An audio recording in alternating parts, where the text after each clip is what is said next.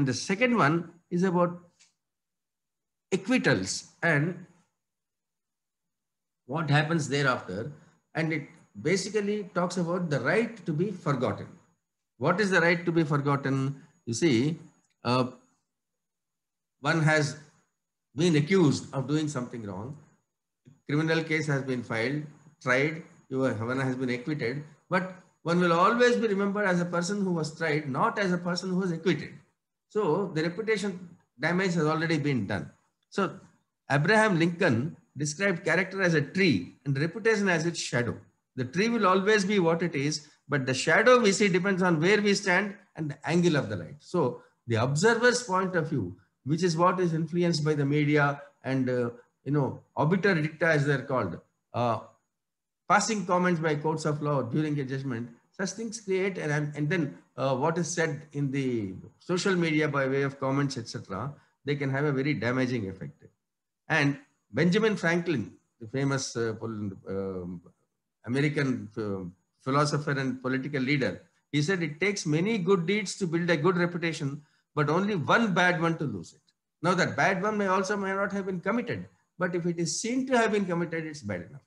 So this article says it is in the opposite the editorial page incidentally. It uh, the Supreme Court some time ago held that the right to be forgotten is part of the right of privacy which is guaranteed by the Indian constitution. And in one judgment, the court held in the Delhi High Court held that uh, you see on the one hand the public has a right to know what is happening uh, in society and particularly courts are supposed to operate in the public domain because they must be seen to be transparent, fair and just and uh, observed and uh, believed to be that. So here, but the court says that the right to be forgotten must be balanced with the right of the public to know what's, um, what the court is wanting to say. So both are, there's a little trade-off between the two. So what the Supreme Court said in its earlier judgment was that the right to forget to be forgotten will apply. For instance, if some information which is posted on the social media or in a written in a judgment is of no legitimate interest to the common public. It may be irrelevant information. Secondly, it may be incorrect. Who knows? Thirdly, it may not be necessary for the person who is wanting to read it or who's uh, able to access it. And it may not be relevant for them. So in such circumstances, information need not form part of the public domain. Now, for instance, if a person as a teenager or as a child performed some embarrassing acts, which he put in the social media at that time, later on, he wants to withdraw it and he requests that site, please delete this. If the site refuses it, there's no remedy available today in the law, except perhaps filing a suit for defamation. మనం అంటాం కదా పరువు నష్టం దావా అని చెప్పి అటువంటిది ఏదో చేయాల్సి వస్తుంది that is the unfortunate part but if the same person is holding a public office, then it is perfectly legitimate for a site to uh, carry it and for people to access it because a public person has lost the right to privacy.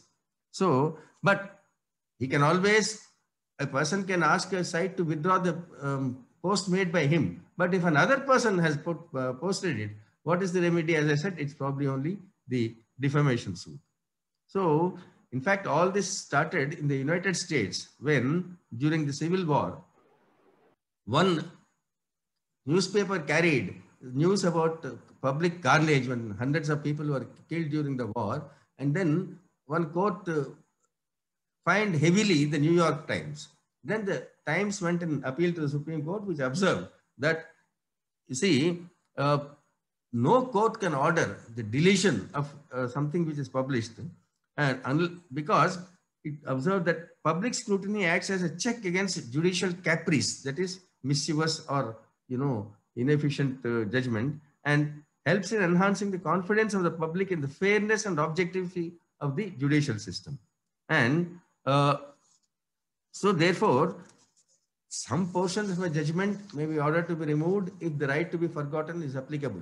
But removing a whole judgment, which is what the Delhi High Court did in the case being examined in this article, appears to be an extreme case And peculiarly, you will find when you read the article that the Delhi High Court, while ordering its earlier judgment to be deleted because it wanted to protect the privacy of the individual, kept on quoting that individual's name in its own judgment, defeating the whole purpose of the judgment. This is what is called, um, you know, it's a law in uh, operation. It's called the Streisand effect, where in attempting to hide something, you have an unintended effect of actually publicizing it or censorship which is backfiring. So all rights as we know are subject to restrictions, but efforts to misuse it or exploit it must be uh, sort of curbed by judicial intervention. So finally, there's a very good saying by one John Wooden, a philosopher, that be concerned with your character than your reputation because your character is what you really are while your reputation is merely what others think you are. But unfortunately, in society, it matters also quite a lot about what others think of you, which is what the right to be forgotten is all about. So this is what the two articles say today. I'll be happy to take any questions or doubts now.